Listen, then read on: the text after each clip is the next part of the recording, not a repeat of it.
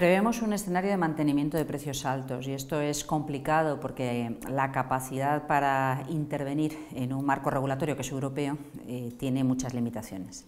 Por eso es por lo que decidimos acudir con esas medidas de alivio en la parte fiscal y por eso decidimos también plantear el debate de cómo repartir mejor esa sobreretribución tan abultada consecuencia del, del, incremento del precio de CO2. Lo importante es trabajar en la parte estructural, en tener un sistema eléctrico que no nos genere nunca este problema. Por tanto, un sistema eléctrico que no dependa de combustibles fósiles y que no tenga que internalizar ese coste extra del CO2. Y esto hemos ido teniendo bastante éxito, pero no nos ha dado tiempo a completarlo y por eso seguimos trabajando mucho en la parte estructural.